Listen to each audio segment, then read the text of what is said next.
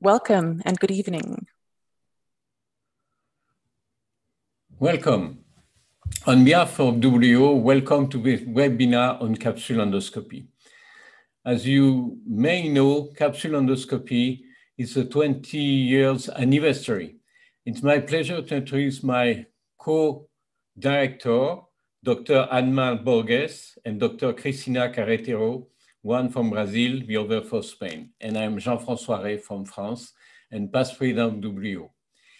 Capsule endoscopy is very important, but uh, for 20 years, we have a question about the safety and especially about impaction. We know the number of complications, the number of infections is very low, but uh, it's also very important for the patient to know now we have a, a tool able to diagnose, predict the impaction. And it's why this uh, course is focused on the patency capsule. We have a lot of uh, discussion about, about this patency capsule, but uh, I'm sure with the various speakers, Dr. Spada, Sidhu, Carretero, and Borges, we could try to answer to your question.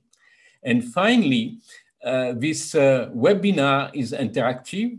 So if you have any question, you could use the Q&R and we answer to your question. So now we start with the first speaker. The first speaker, it's uh, Cristiano Spada, a friend from Italy, and uh, he will talk about the you know, patency capsule, the technique. Cristiano, is yours.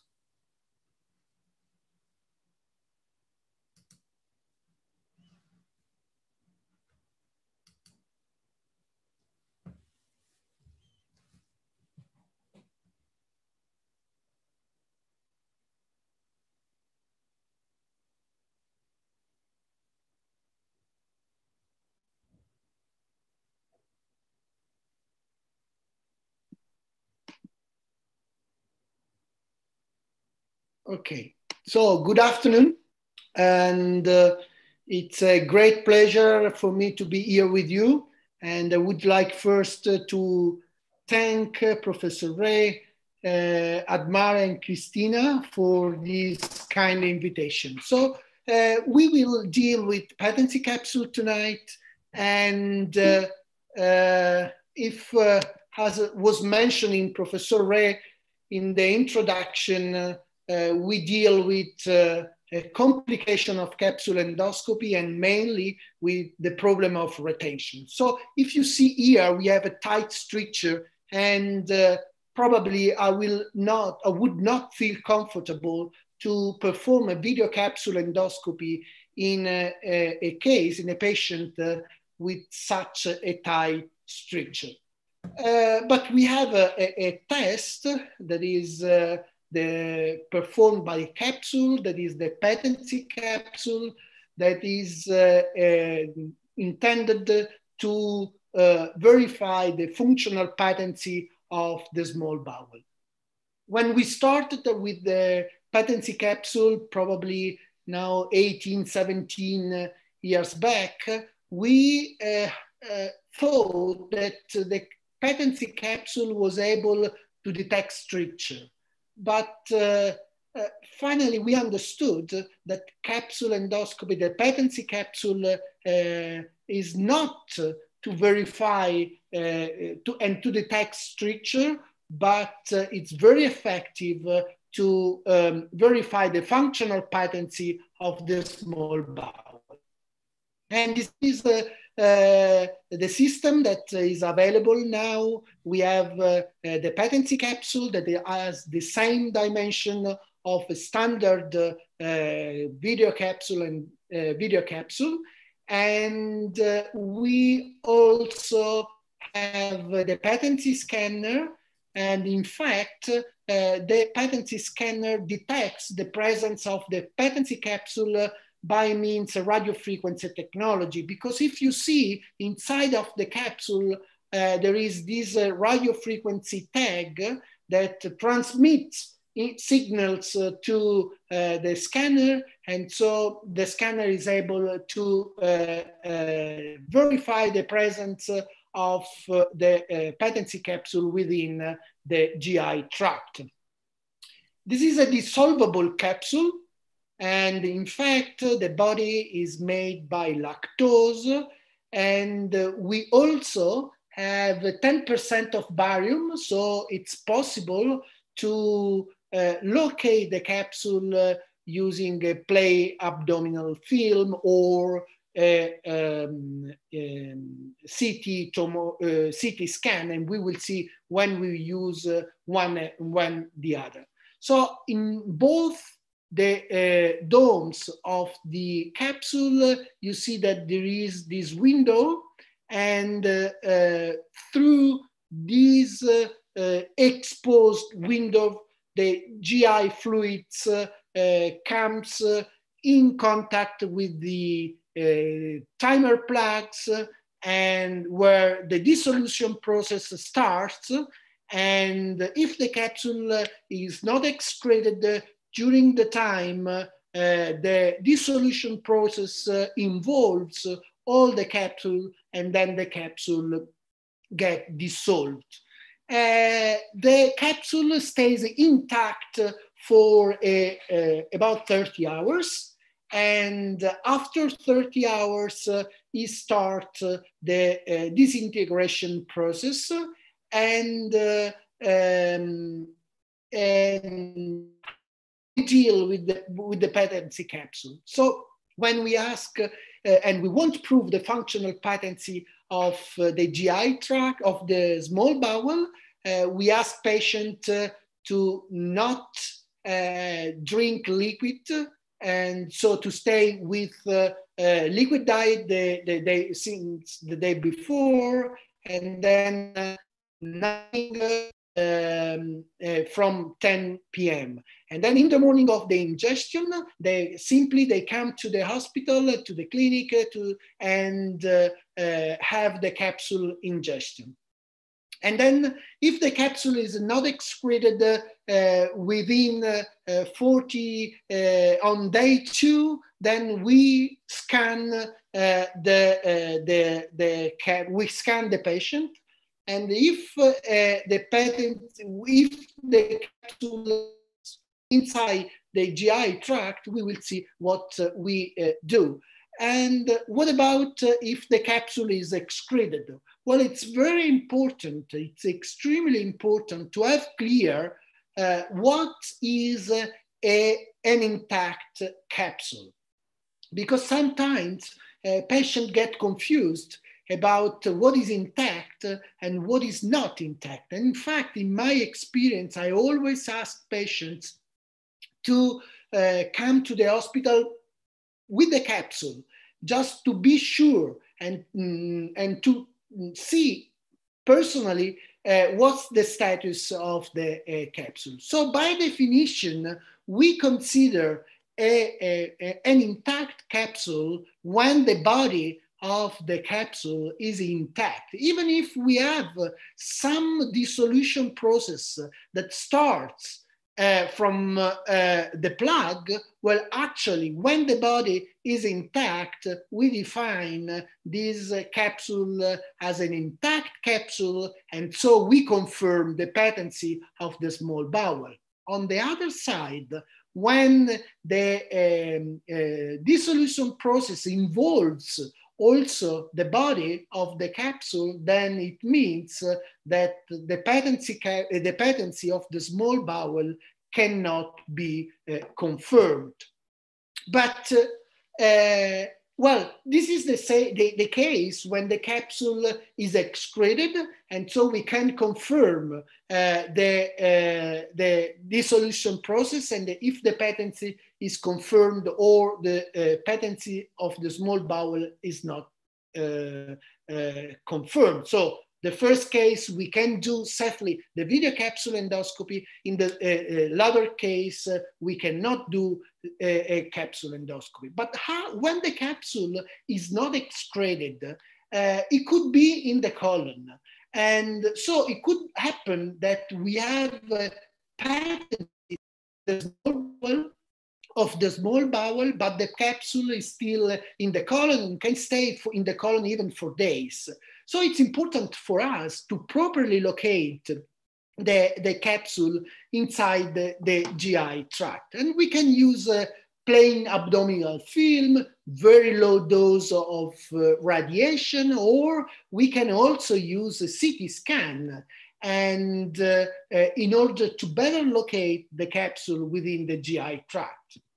Well, uh, this is, I think, an important uh, Uh, algorithm of uh, uh, the patency capsule procedure. Well, if the capsule is excreted, no problem.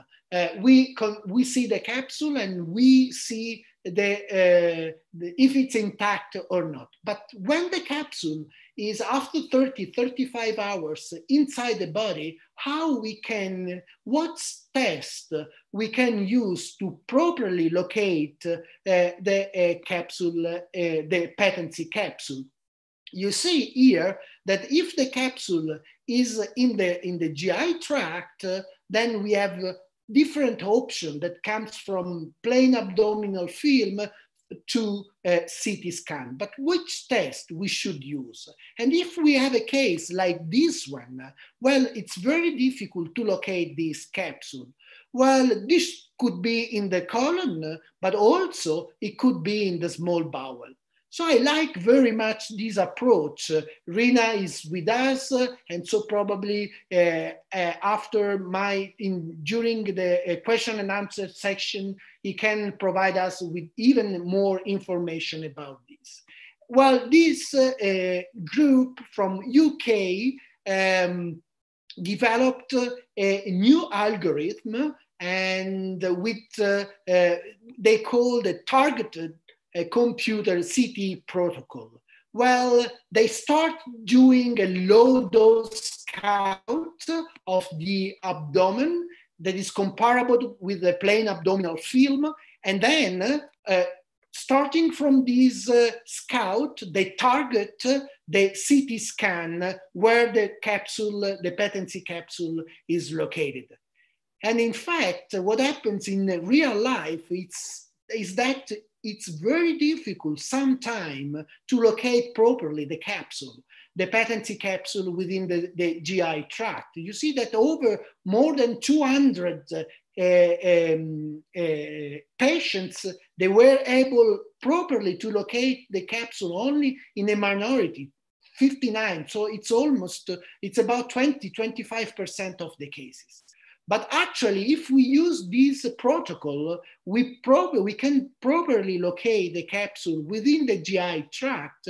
So first the scout of the abdomen and then target our CT scan in the area of uh, the uh, where is located the patency capsule. And in fact, using this protocol, the prediction, uh, the accuracy to predict a patent small bowel lumen is extremely high, 99%. So almost we can properly evaluate the patency and we properly locate the, call, the patency capsule in all our patients. So I thank you very much for your attention. Thank you. Thank you, uh, Christian. I think we will keep the question for the end of this webinar. So the next speaker, it's uh, Mrs. Reena Sidhu from UK, patency capsule, why and when? Please. Thank you very much uh, for the invite and introduction. So for the next 10 minutes, I'll give you an introduction. We'll talk about patency, when it is indicated, I'll share with you the literature using patency, and we'll also touch on about false positives and negatives. You've already heard an excellent introduction from Cristiano on how the patency capsule works and the fact that it has two windows on either side. So what is the factor that we're worried about? Well, capsule endoscopy retention is defined as non-passage of the capsule for at least two weeks, requiring targeted medical, endoscopic, or surgical intervention. And why do we worry? Because this may lead to surgery for a problem that otherwise would be treated medically, such as Crohn's disease or NSAID enteropathy. Prevention is always better than cure, and the risks for capsule retention including those who have obstructive symptoms, such as abdominal pain, bloating or vomiting, Crohn's disease, particularly the penetrating phenotype, and those with an elevated CRP. Patients who've had a previous small bowel resection, small bowel ischemia, or radiation involving the small bowel field, or surreptitious use of NSAID injection for more than two years are at risk of small bowel strictures that may be asymptomatic. How do we define this risk? Well, we know the ECCO-ESGAR guidelines tells us that the risk of retention in suspected Crohn's is between 1.4 to 2.6%, and in established Crohn's disease is up to 13%. In patients who are known to have strictures on radiology, this goes up to 21%. And these figures are similar to the meta-analyses published in GIE, And in obscure bleeding, the risk is between 1.2 to 2%, and for patients with abdominal pain and diarrhea is approximately 2.2%. I'd like now to share with you a couple of slides with regards to the literature. This landmark study by Lee, published in 2008, looked at 1,000 patients of all comers and all indications. They had a retention rate of 1.4%. And out of the 14 patients, 11 of them had NSAIDs, and three of them were, were found to have tumors but 13 out of the 14 of them had had a normal barium study precapsule, and all of them were asymptomatic. And 13 patients required surgery. And these studies are in keeping with that done by Rondonotti, which also stressed that you cannot rely on radiology to ensure that the capsule will pass through. Let's look at real life series of patency capsule. The first one done by Uri Kopilov looked at 1,600 patients, and the rate of symptomatic retention was 1.2%. Risk factors identified included previous surgery, previous small bowel obstruction, inflammatory bowel disease, and NSAIDs. In 13%, 13 patients, they resolved spontaneously, but one required surgery, five steroids, and one, in fact, was an esophagus stressing the need to ensure patients have had a gastroscopy. The other study by Peixoto, although retrospective, looked at 369 patients. They also included cases where patients had had small bowel imaging showing strictures. And 2.5% had self-limiting occlusive symptoms. Both these studies stress that the risk factors of occlusive symptoms IBD, NSAIDs, and if those who had imaging showing strictures are likely to have a positive capsule, patency capsule at 30 hours. Another study to look at is this Japanese series. It was over a thousand patients, and in half of them, the patency was okay. But in the other half, they needed to use radiology to confirm the location of the patency capsule. But despite that, retention occurred in five cases. Those were in patients who had established Crohn's disease and in obscure GI bleeding. And this is because the location of the patency capsule had been misinterpreted to be in the wrong place. And this, the authors concluded that while it's really helpful, patency can assure that small bowel retention does not occur, but when you use radiology, it's important that its location is appropriately delineated. While we've talked about false negatives, what about false positives? In this series, um, they included usual patients with risk factors of Crohn's disease, stenosis on imaging, and previous abdominal surgery. And the sensitivity was 94% and a specificity of 97% and the only clinical factor related to false positive cases was constipation. This is rare, but something to bear in mind. Uh, this brings me nicely to introduce the Sheffield protocol, which Cristiano already has done. In Sheffield, where I work, we do 800 capsules a year, so a larger volume. And we came up with this novel protocol where patients would swallow the patency capsule at home at 8 in the morning. They would come to hospital the following day at 2 and this is all a nurse-led protocol where the nurse does the patency scanner. And if it flashes blue, they then get sent down for a scout view, which is similar to a plain film before a limited CT scan is done. Now, Christiane has already highlighted that we had a high sensitivity and specificity. Now, what about the radiation dose, you might ask? Well, the radiation dose for a scout view is less than that of a plain X-ray, and for a limited CT scan, the radiation is between 0.8 to 1.4 millisievert. And if you compare that to a full CT, that's 8 millisievert. So this protocol does involve a little bit of radiation, but it's about the balance and risks and getting the location of the patency capsule correct. I'd also like to highlight the study that's looked at cost effectiveness and whether we should be doing so with patency. It's a theoretical comparison and it divided patients into scenario A, where all patients were selected carefully for patency followed by capsule. Scenario B, where all patients had a patency followed by capsule. And scenario C, where no one had a patency and all went straight for capsule. And as expected, it was most cost effective to carefully select patients for patency prior to capsule endoscopy. I'd also like to highlight two problems that can occur with patency capsule. And we reported one of them, and this is of premature dissolution. We had five cases where when we scanned the patients on the ward, the patency scanner flashed blue. But when we sent them down for a scout view, no patency capsule was seen.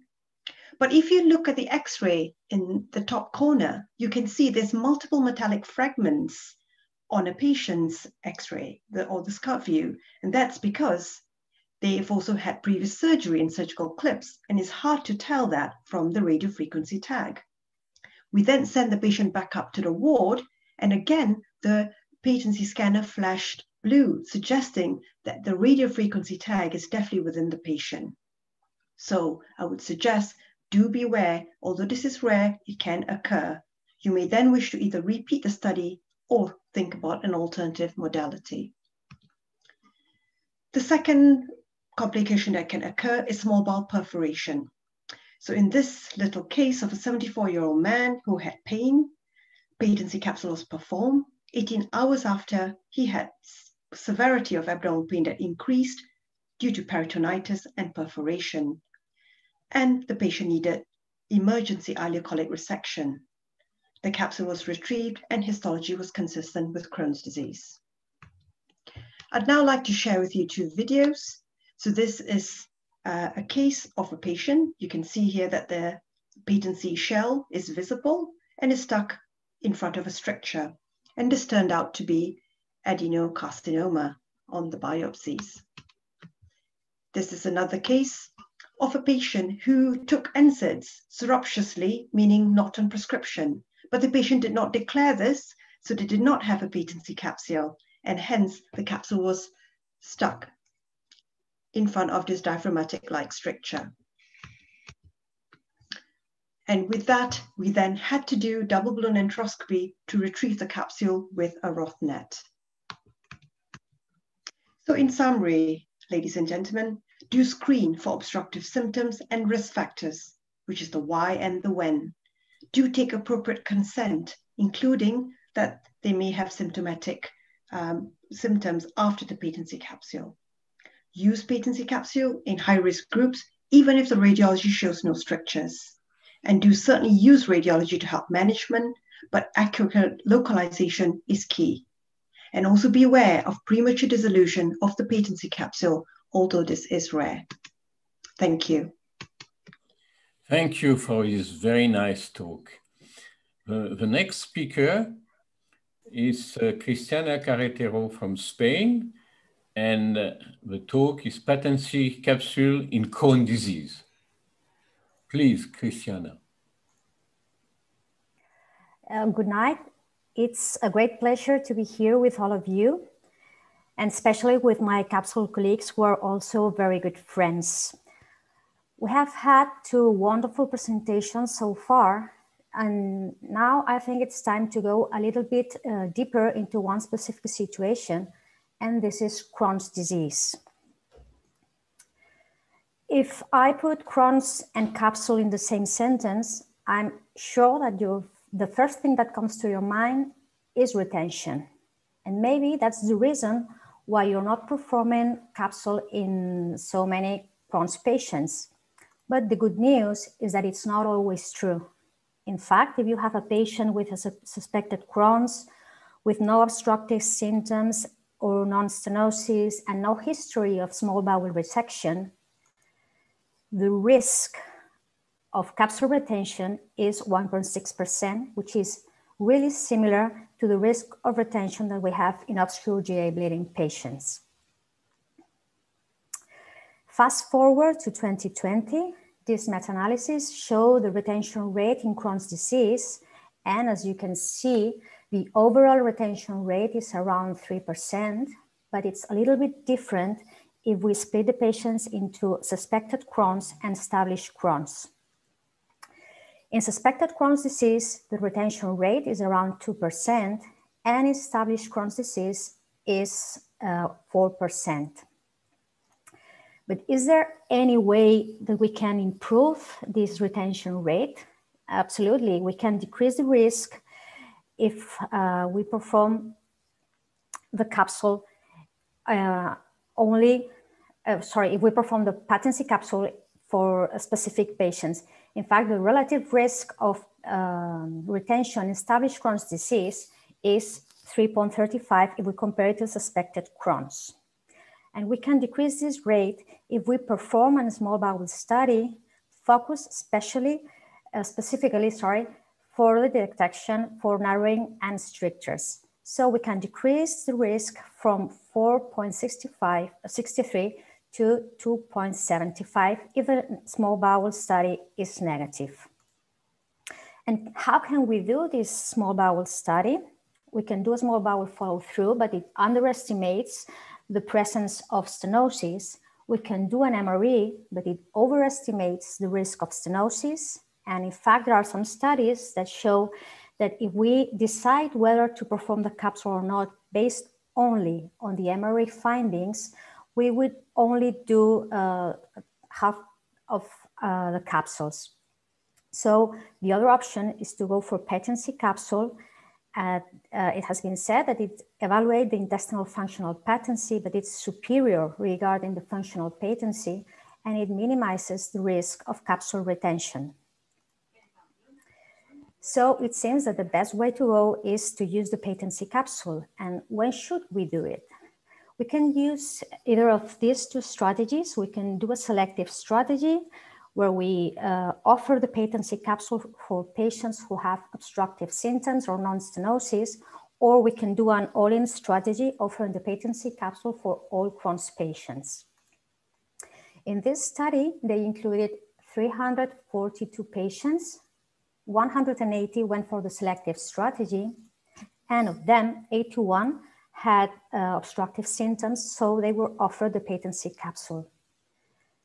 56 of them were cleared for the video capsule endoscopy, so they finally performed 155 video capsules. It means 86% of the patients went for capsule, and they had a retention rate of 1.3%. They had two retentions. The other arm included 162 patients in the all-in strategy. So obviously they performed 162 patient, patency capsules and 127 were cleared for uh, the video capsule, meaning that they performed this 78% uh, of patients went for video capsule and they had 1.6% of retentions which is very similar to the other arm, and the differences were not uh, statistically significant. So using the selective or the all-in strategy, they have this a similar retention rate.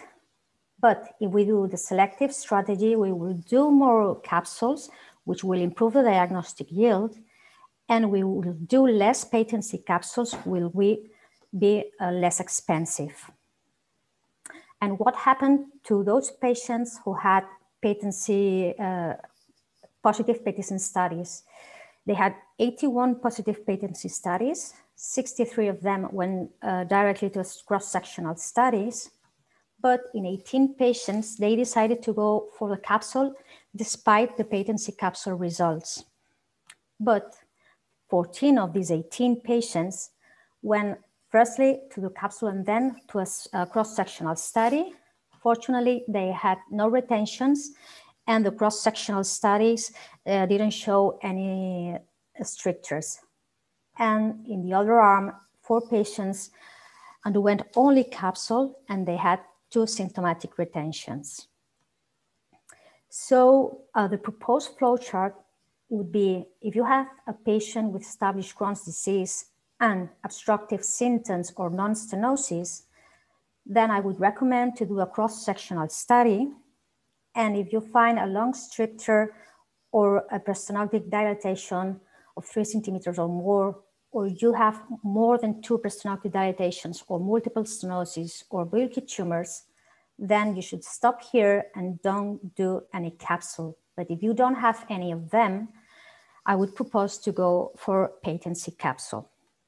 So finally, take home messages would be try to use the patency capsule to study the small bowel, the small bowel patency.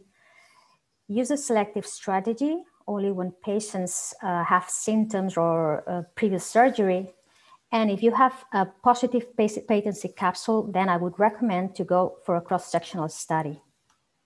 Thank you very much for your attention.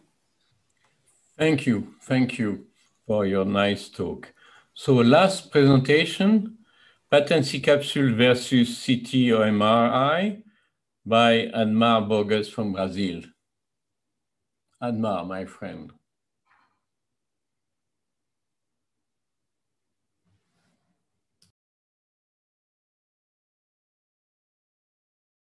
Uh, hello, thank you the, the audience for being virtually with us at this new uh, project of WEO. Thank you to the presenters. Cross-sectional imaging of patency capsule to predict capsule retention. This is the, the question. Patte's capsule, we can see at this this cross-sectional at this CT, and uh, the, the cross-sectional image in this, in this two exam with the stenosis and a pre-stenotic uh, dilation. Capsule retention, it's, it's uh, in the X-ray, you can see just like a, a, a point sometimes. Uh,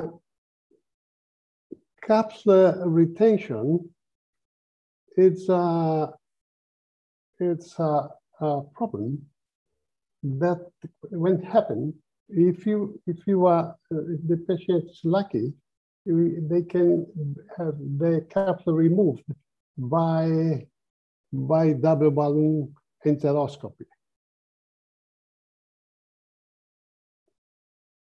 And uh, here we can see the, the tight stenosis, the Crohn's disease, and the capsule, the retained capsule, the, after two years. Uh, there is a paucity of publication regarding this topic. Data are limited um, uh, patency capsules has no radiation and uh, low cost, is repeatable. Uh, conversely, uh, CTE and MRE, uh, they are widely available and reimbursable.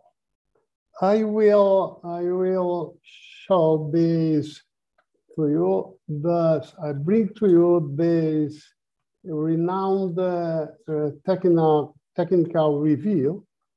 And uh, I think I will, I bring to your attention a couple of uh, great uh, studies.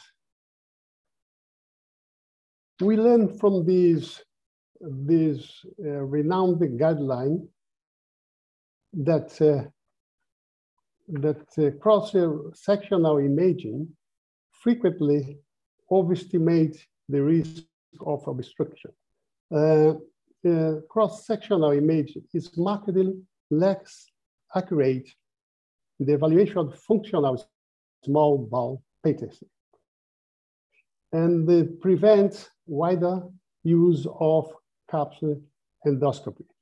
Based on CTE, not on PC, at least 40 uh, percent of patients would not have undergone capsule endoscopy. I have included this table because it gives us the most predictive find of PC retention. Uh, the uh, correlated with PC retention, the most uh, predictive finding is number of pre-stenotic dilation and stenosis length. This article concludes that low specificity and positive predictive value, value of MRE in predictive PC retention and the patient with positive MRE prediction should undergo PC before capsule endoscopy. Is a negative cross-sectional imaging for stenosis in high-risk patients reassuring before capsule endoscopy.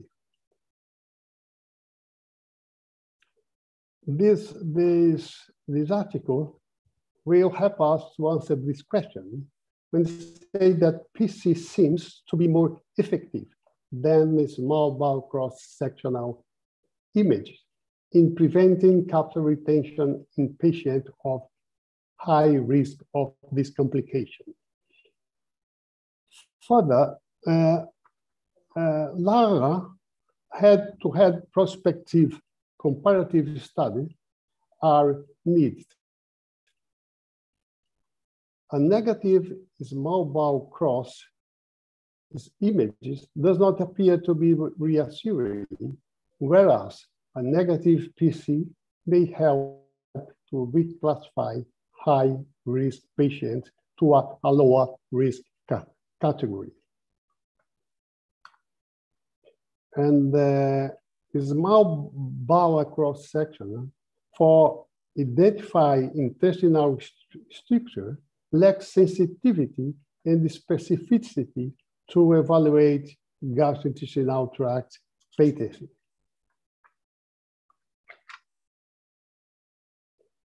Now, a uh, uh, practical tip for the fellows, do not wait long to perform capsule endoscopy after patency capsule.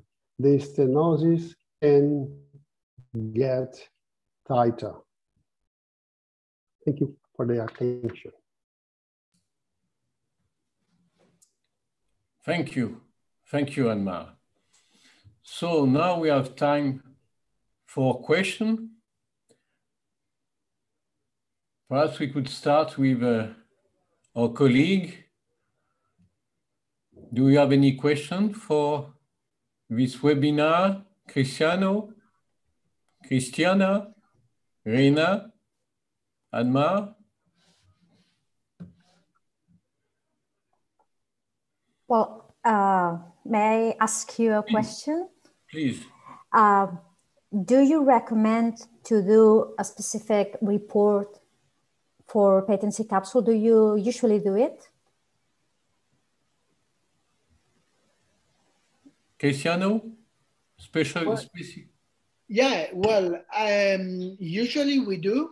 And when we perform patency capsule and video capsule endoscopy, usually we, in uh, let's say high risk patients, we usually confirm in the report that um, the capsule endoscopy was performed after um, the patency capsule. In case the capsule, the patency capsule get dissolved or the small bowel patency is not confirmed, in any case, we provide the patient with a report. Thank you. I, have... uh, We have a question. We have a question may, for the audience. I, please, please, go ahead. Yes, we, we have a question for the audience. Uh, are you supposed to give patency capsule to anyone who have lactose intolerance or allergy? And the same uh, uh, question, is the patency scan 100% sensitive? Cristiano? Well, uh, the um, question about uh, the um, lactose intolerance, well, actually, the amount of, uh, um, of lactose in, in the uh, patency capsule is extremely low. And uh, frankly speaking, uh, I do not consider uh, me personally a contraindication for patients uh, who have lactose intolerance. I don't know the other speakers, but I, I, use a patency capsule also in this group of patients. And the question about the scanner, well, uh, is 100% sensitive? Well, it depends what we define uh, uh, for sensitive. I mean, if you um, want to, to, to say if the capsule uh, is in the body, in, is in the GI tract or not, is uh, it's mm, I, don't know. I don't have any uh, uh, exact number in terms of sensitivity, but it's is is is is sensitive. It's quite uh, effective. Well, the problem is that uh, it's not able to locate properly the, cap, the patency capsule within the GI tract. So we don't know if the capsule is in the small bowel or the colon. And this is why I prefer the Sheffield protocol. Okay. I would agree, uh, Cristiano, that amount of lactose is only a few grams. And I think some patients very specifically, they inquire about this and we declare that it's only a few grams and it shouldn't affect them at all but some patients you know feel that they don't want to take that risk and we can't stop them but really it's negligible uh, the effect uh, and with regards to the other question I, I don't know of any studies that have looked at the scanner on its own in terms of sensitivity. And i think i would just caution uh, the audience that the only thing that can go wrong with the protocol is that if there's premature dissolution of the actual capsule itself. Uh, I have a question from the audience, from you, uh, Reena. Uh, is it necessary to do any preparation the day before ingestion of patency, or do you use any protocol? Or, or so in Sheffield, we don't. No. We don't use any protocol. We don't fast the patient or anything like that uh, because it's simply uh, swallowing the patency and they just swallow it eight in the morning. So no preparation at all. And Reena, I have a question for you. And do you use uh, routinely the scanner or if the capsule, the patency capsule is not excreted, uh, then you go directly to your uh, Sheffield protocol? So we always use the scanner uh, in all cases. Uh, and, and then we follow down with the scout view and, uh, you know, the limited CT scan. I think the other thing to educate the audience as well is in patients who've got uh, stoma, who is an which is an ileostomy. If the patency capsule scanner detects the capsule, check the bag. If the capsule is not in the bag, it's definitely in the small bowel. It's no point doing a scout view. We, we don't do that because it's definitely retained in the small bowel. Uh, I have also a question from the audience. Are you using prokinetic with a patency capsule? And how long you keep a patient without uh, food or drink before having the patency? No protocol. Prokinetic, who is using prokinetic? No, I don't use prokinetics. Okay. I, I don't use it. Yeah. No. We don't do in Sheffield, and patients can eat and drink normally. Yeah. I not fasted. Okay, they, they, they swallow the caps- patency capsule and then they leave normally. It's okay? Correct, yeah. Okay, thanks. Uh, I have a question, but I think it's different from one country to a country. How expensive the patency capsule? Uh, in France, it costs nothing because we, we get a, a free patency capsule for, I think, 10 uh, normal capsule. So when my, when my hospital buy 10 capsule, they get one patency free of charge. It is the same in, in Italy? No, no, we have to pay for we have to pay for for patency capsule. Unfortunately, uh, well, it's not very expensive. I don't know exactly uh, the price of the patency capsule, but it's at all is not as expensive as video capsule endoscopy. It's uh, much less expensive than a, a video capsule endoscopy. I think it's around 100 euros more or less. In Yeah. Spain? In Spain. Italy is the same, more or less, it's the same. In Brazil, I'd say it's about 20% of the price, the capsule endoscopy price. It's Quite expensive, quite expensive. Yeah, and in the UK it's the same, and there's no special deal buy 10, get one free. Okay. so we, we make a good deal in France. yeah, Yeah. you did a great job. Uh, and then, then, uh, uh, about the, the the previous question, I advise that prokinetic in this patient could be, be is not is not uh, is not indicate because it can the patient may have a, a stenosis and prokinetic with the the the capsule the patent capsule can in fact it can uh, worsen the the patient pain or something like that. Uh, another question from the audience. Is it necessary to do patency if a dedicated MR small bowel show no structure disease? Admar. Yeah. Yes, it depends. Yes, depends on the the what the MRI what what show the finding of the cross sectional. It depends if if there are long stenosis, there are pre uh, dilation, stenosis predilation. It- It's your line is uh, lousy. can you can you hear me? Now, yes. Oh yeah, I, I was I was saying that uh, it depends on the cross sectional image finding. If uh, if you have, for example, uh, long stenosis, if if there are if if there are predilation, uh, stenosis predilation, if there are uh, more than one stenosis, in fact, in this situation, we can, uh, there is one, an algorithm for that. We can, uh, we,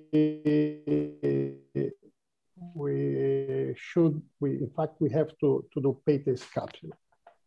Okay.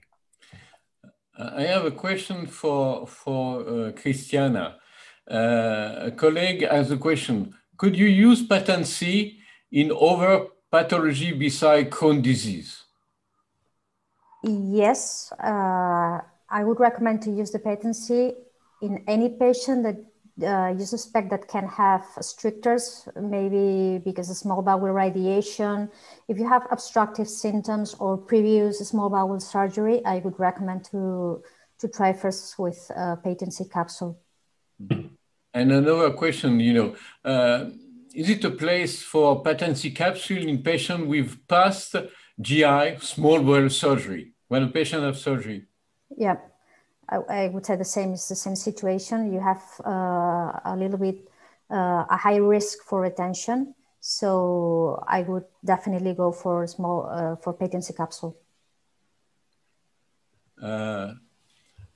We have a suggestion. Has a bisacodyl uh, increase the colon motility, uh, a colleague suggests to use bisacodyl for patency capsule in order to excrete the patency capsule uh, more fast. Do you use it, Cristiano? No, No. no, uh, we don't use uh, stimulants uh, to improve the capsule excretion. Cristiana? No, we don't use it at all. Reena? I would also, we don't use it. I would also add that if you do then use prokinetics, and even if the patency capsule comes out of the patient, you then need to examine uh, what the capsule looks like, the points which Cristiano covered in his talk, uh, to make sure that it's not disintegrated. And I think it complicates the situation, would be my uh, humble opinion. So a strong no. Yeah. We, we have a question from uh, Rome Utaba. How many, how many of you experience retained capsule in spite of following the protocol described? Cristiano? Yeah, well, uh, um, frankly speaking, I, I, didn't experience any retention of video capsule endoscopy after a, a patency capsule. Uh, this is not exactly what is reported by literature, where uh, some retention of video capsule endoscopy are mm, reported. But in my personal experience, uh, I didn't have any kind, any uh, case of capsule video capsule retention after a patency capsule. Thank you. Uh, same question, you know, how many of you face medical legal issue in patient with retained capsule? Have you been sued? Personally, I never have a problem. No, me. me I remove too. the enteroscopy.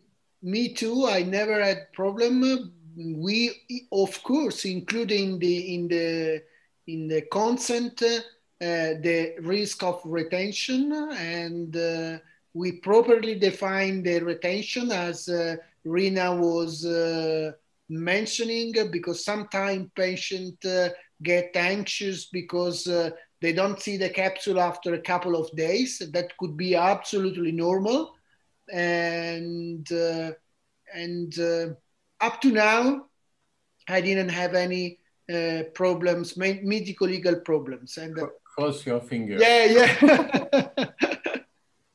Cristiana, no problem in Spain? No problems, fortunately. Uh, Reena in the UK?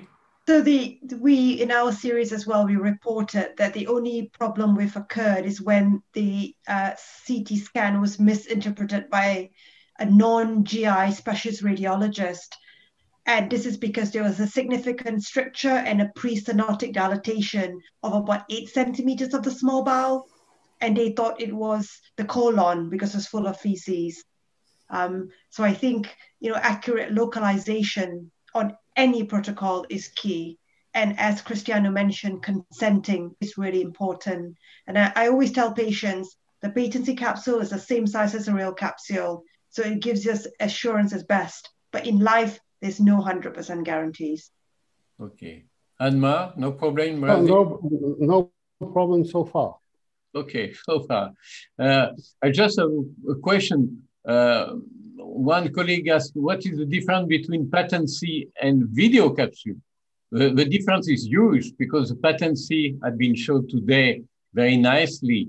Uh, the uh, video capsule, uh, it's uh, totally different because they are recording, they have a light, and it's very, very, very tough. It's a very expensive piece of uh, device. Uh, and I look about, uh, yes, one question. How many, what is the percentage of patients with a patency stay in their abdomen, small or large bowel, after 30 hours, regardless of pathology? Are you worried about the patency after 30 hours? No, personally, no, because uh, the dissolution process uh, starts around uh, 30 hours. And uh, uh, so if uh, the capsule stays in the small bowel because there is a stricture, then it get dissolved after a few hours and so I don't have any any concern about the presence of the capsule in the, the small bowel. And if it's in the colon, where no problem at all. I mean, uh, there is no problem of patency capsule staying in the colon. I don't know if also for the other is the same. Reena? So, as I demonstrated in my talk, there can be symptomatic retention of the patency capsule as well, but that's only short lived. And thereafter, it should completely dissolve, as Cristiano mentioned. And I showed in my video as well, you can see the empty shell uh, of the patency capsule. And in the colon, not, not an issue. Cristiano? Yeah, I agree. We haven't had any issue with that. Yeah. Yes, the, all the, the protocol, the studies, they, they have been done with 30 hours.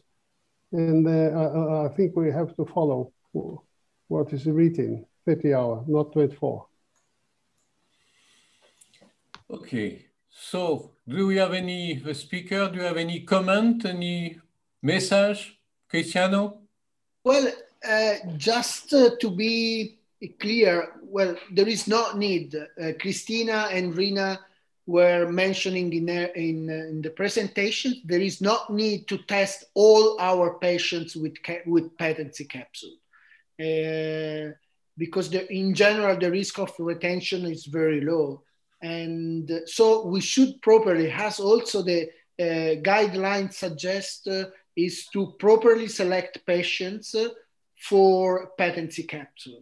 And these usually are high risk patients with symptoms obstructive symptoms previous surgeries NSAID users or Crohn's disease patients. So I think this is important because it's a, it's a no sense to test all our patients uh, with patency capsule. I don't know if also Cristina and Reena uh, agree on this. Absolutely. Yeah. yeah. We have to select the patients uh, and select and follow the the guideline because we cannot do a patents. It's not done. It's not for every every exam. It's for for very special cases. And it's not cost effective to do patency in everybody either. Yeah. Okay, I think uh, we are coming at the end of this webinar. Uh, on behalf of WEO, I really thanks Cristiano, Cristiana, Reena, and Admar. It was a nice uh, evening in Europe, afternoon in Brazil. And uh, we look to see you next year in uh, Kyoto, because don't forget, next year, I hope the pandemic will be over and you could, we could make for the third World Congress of Digestive Endoscopy in Kyoto, Japan. Good afternoon, good evening. Thank you. Thank you. Thank you. Thank you. Thank you.